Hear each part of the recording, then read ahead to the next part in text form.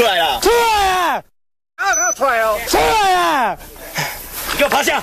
狼狈从土里爬出来，不断咳嗽。男子为了躲警察，从三米高的圳沟一跃而下，双手给我抱头，够了！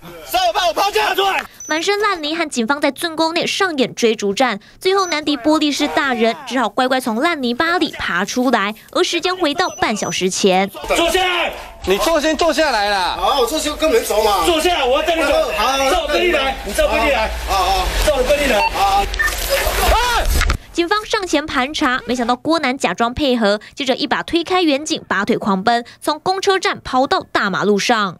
当时通缉犯逃到这里，我旁边的这个圳沟，他走到这里的时候，发现没有路了，竟然直接踩下去，而且可以看到相当的陡峭，它的高度长达三公尺，而警方呢也出动十五人将他团团包围。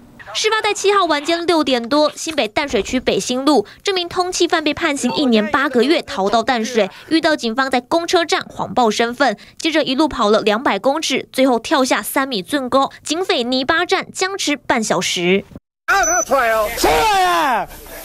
你给我趴下。然后那个是属于一个沼泽地形，然后我们过去的时候，我们全身哦都是泥泞，摸黑搜索才找到他的行踪。通缉犯为了逃命跳下去，玻璃是大人也不是省油的灯，兵分两路下去包抄，最后活逮通缉犯，结束一场泥巴混战。记者阿戈尔麦林玉君新北报道。